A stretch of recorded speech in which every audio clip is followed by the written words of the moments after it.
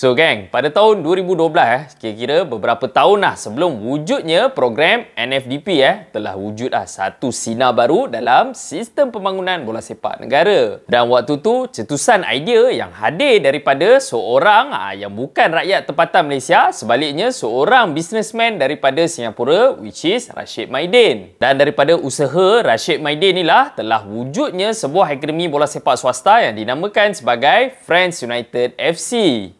Assalamualaikum guys, welcome back to A2N Studio. Macam biasa, thank you so much dekat korang yang dah support channel ni. Mana-mana yang baru dekat A2N Studio Jangan lupa untuk terus support aku. Support channel ni kan dengan tekan butang subscribe dekat bawah. So, Friends United FC Sebenarnya di awal penubuhan ah, Sebuah akademi yang terletak dekat Janda Baik Pahang ni eh Tujuan dia adalah untuk jadi akademi bola sepak swasta yang pertama Bertanding dalam Liga Malaysia kita. Dan untuk pengetahuan korang semua eh Sebenarnya, Friends United FC ni Open to all players around the world lah Which is player-player ni akan uh, selected by scouting team daripada Friends United sendiri. Dari segi dana untuk operate sebuah akademi bola sepak swasta ni pula 100% datang daripada pocket owner dia orang sendiri. Dan pemilik Friends United FC iaitu Rashid Maidin sendiri pernah share lah berapa sebenarnya kos yang diperlukan untuk tanggung seorang player untuk setiap hari. Menurut Rashid Maidin eh, kos untuk latihan, pendidikan, makan, pakai dan sebagainya untuk seorang player adalah bernilai RM100 setiap setiap hari. Dan dengan adanya lebih kurang 100 orang pemain yang bernaung di bawah Friends United FC punya akademi eh, kita boleh kira lah dengan mudah 100 orang kita darabkan dengan jumlah RM100 untuk setiap player. So, dekat situ kita akan dapat jumlah RM10,000 ha, yang diperlukan untuk setiap hari. So, daripada pendedahan yang dilakukan oleh pemilik Friends United FC ni, eh, kita boleh nampak ah, aspek pembangunan pemain memang akan makan modal yang besar. Mungkin disebabkan oleh ni lah, pihak Persatuan Bola Sepak Negeri malah nak keluar duit banyak-banyak nak bangunkan player-player yang ada dekat negeri diorang sendiri. So, selepas lebih kurang 3 tahun setengah penubuhan Friends United FC punya akademi ni eh, sebenarnya diorang dah berjaya untuk handle beberapa kejohanan international. Antaranya yang pernah dianjurkan adalah Friends International Cup dan juga Asia Champions Trophy. Tak cukup dengan tu. Dari segi infrastruktur pula, diorang banyak ah improve. Diorang dah ada stadium sendiri, gymnasium dan juga segala kelengkapan asas lain untuk sebuah akademi bola sepak. So, bagi aku, untuk sebuah akademi bola sepak swasta eh, tanpa injection dana daripada pihak kerajaan, ada achievement macam ni, bagi aku satu achievement yang besar lah. Dan hasil daripada pelaburan jangka masa panjang untuk akademi bola sepak Friends United FC eh, sebenarnya dah start lah nampak bintang-bintang yang dihasilkan daripada akademi ni. Antara yang famous adalah Hadi Fayad, player yang sedang berkelana dekat Jepun, ex-player JDT yang dah menjaringkan banyak gol lah dekat Liga Perdana di usia muda. Dan waktu belasan tahun juga, Hadi Hadi Fayad telah dipromot ke skuad utama pasukan JDT. Selain daripada tu, Daniel Amin Noh Hisham, player JDT sekarang ni, pernah menjaringkan gol waktu AFC Cup Under-23 menentang pasukan Arab Saudi. Dan Boy juga pernah mewakili skuad senior kebangsaan dalam perlawanan persahabatan international. Itu baru cerita untuk player-player yang ada dalam Malaysia. Kalau kata kita pandang sikit player-player yang ada dekat luar negara, kita tak payah pergi jauh, kita tengok dekat negara jiran kita which is Indonesia. Antara player yang sempat bernaung di bawah Friends United sebelum terkuburnya Akademi Bola Sepak Swasta ni adalah Bagus Kafi. Seorang player kelahiran Indonesia yang sedang berkelana dekat Liga Belanda sekarang ni bermain dengan skuad FC Utrecht. Sebenarnya setahun sebelum tertutupnya Akademi Friends United FC ni eh, Bagus Kafi dan juga adik kembar dia itu Bagas Kafa eh, pernah datang ke Malaysia duduk dekat Akademi Bola Sepak Friends United FC. So, untuk korang yang follow bola sepak under age dekat ah, peringkat Asia ni memang akan kenal lah Bagus Kafi dan juga Bagas Kafa. Sebab apa player-player ni pernah bersaing dengan Luqman Hakim and the gang waktu kejohanan AFF under 19 suatu ketika dahulu.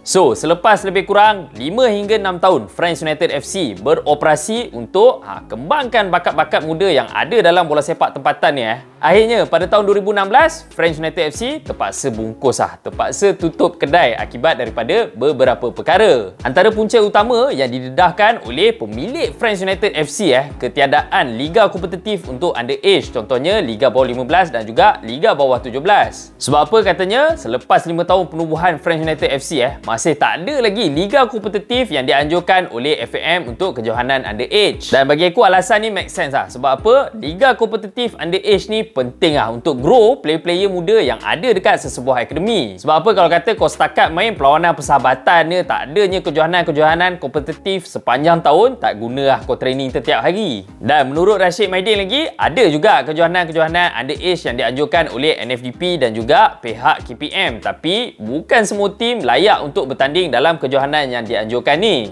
So, walaupun adanya liga-liga kompetitif yang diajukan, tapi kalau kata tim-tim daripada akademi swasta ni tak boleh join, ah tak ada guna lah tim-tim ni dikekalkan.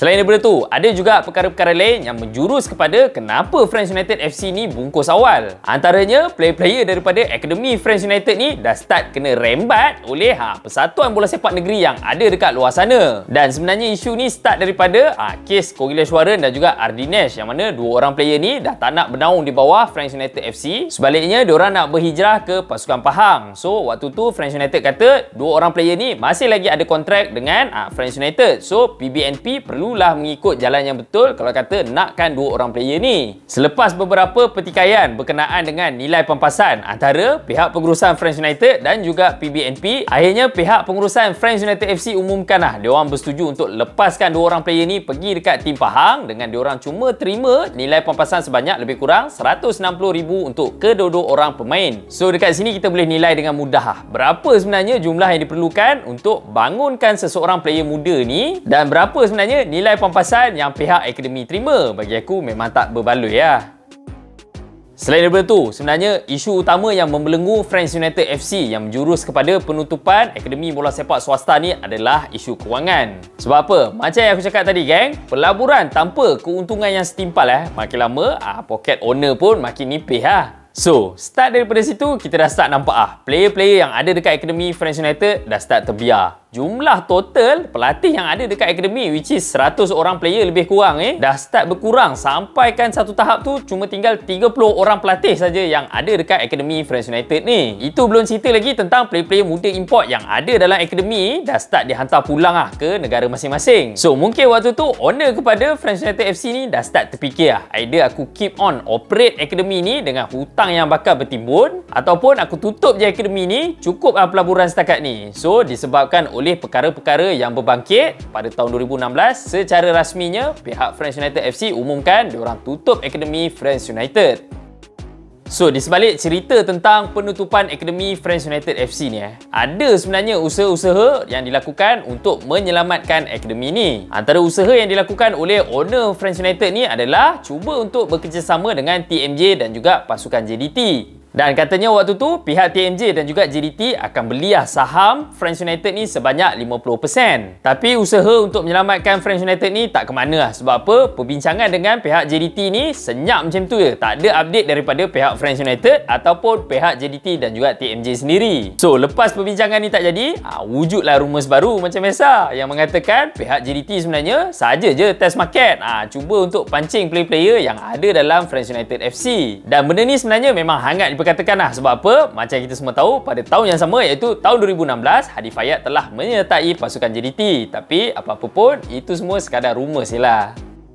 Alright guys, itu saja untuk video kali ini. Apa pula pendapat korang? Sampai bila sebenarnya Persatuan Bola Sepak Negeri yang ada dalam Malaysia ni sekadar nak menanti je produk-produk daripada NFDP? Korang boleh kongsikan pendapat korang dengan komen dekat bawah. Mana-mana yang baru dekat A2 Studio, jangan lupa untuk terus support aku. Support channel ni gang dengan tekan butang subscribe dekat bawah. Sehingga kita jumpa lagi dalam next video. Itu saja daripada aku. Assalamualaikum.